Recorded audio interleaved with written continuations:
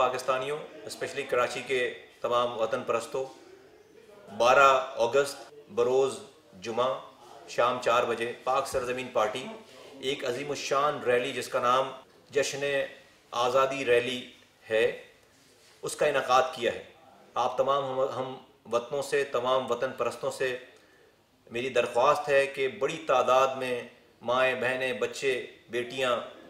नौजवान, बुज़ुर्ग सब लोग, तमाम वॉक्स ऑफ़ लाइफ के लोग बड़ी तादाद में इस रैली में शिरकत करके पाकिस्तान से हबुलवतनी का अमली नमूना पेश करें और इस मुल्क के बदख्वाहों को ये मैसेज दें कि ये शहर, ये सुबह ये मुल्क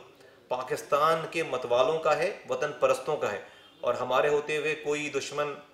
हमारे इस मुल्क की तरफ़ ना कोई साजिश में कामयाब हो सकता है और ना ही इस मुल्क की तरफ़ किसी मैली आँख से देख सकता है और ना भाई को भाई से लड़ा सकता है। तो इस जश्न आज़ादी को